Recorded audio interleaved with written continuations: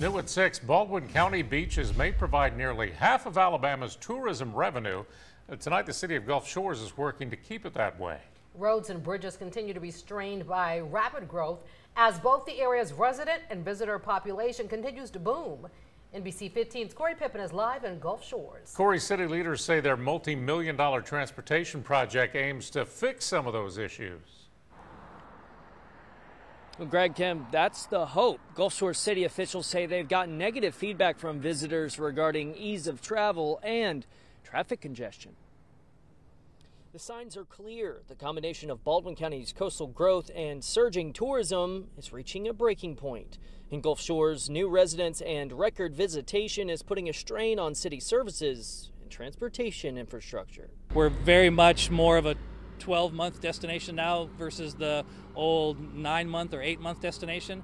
So, continuing that uh, ability for people to get in and out easily is a very important part of what is happening here. Grant Brown with the City of Gulf Shores says a 10 year, nearly $100 million transportation infrastructure improvement plan approved last week by city leaders includes the widening of Highway 59, adding a third lane from County Road 8 over the Holmes Bridge to Fort Morgan Road. We've got issues with transportation and the number of people that are coming in from the north to the south and having additional ways for them to get here comfortably, but also leave here safely. If there's a need of an evacuation or some type of a storm event, we need to make sure that we're prudent and we're making sure that people are safe if they have to leave and that they have multiple ways to get on and off the island and multiple ways to get in and out of town. The city also plans to build a pedestrian bridge located on 2nd Street behind Lulu's and add additional roadways north and south to take the burden off busy Highway 59.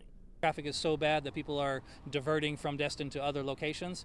You know, we're, we're being careful that that doesn't happen here. We're already starting to hear some of that. Our roadways are crowded at least nine to 10 months out of the year. Um, we want to make sure that those roadways continue to expand and improve to make sure that we don't choke off this good tourism economy that we've established.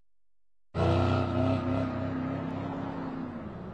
preparation for these projects has already begun, and the hope is to have relief coming in the next few years. Reporting live in Gulf Shores, I'm Corey Pippen, NBC 15 News.